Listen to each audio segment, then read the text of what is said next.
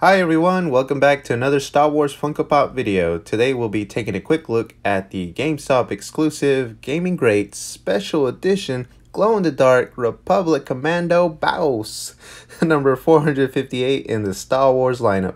It's such a cool pop.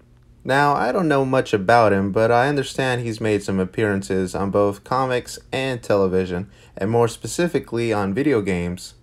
So not a very well known character, but that's okay, he looks awesome. He's kind of got like a Halo Master Chief kind of vibe to him. Very cool pop. But anyways, let's go ahead and take him out of the box.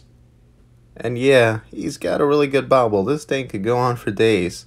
And on that point, if I may, it has come to my attention that a significant amount of people don't like the fact that the Star Wars pops are bobbleheads.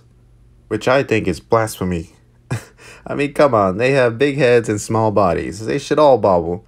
I mean, the first time I bought a pop that wasn't a Star Wars character, I was so disappointed to find out it didn't bobble. But anyways, that's enough bobble talk. Let me show you the glow-in-the-dark effect.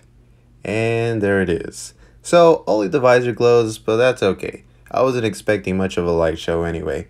It actually would have been fine if it didn't glow at all. So I consider this a nice added bonus.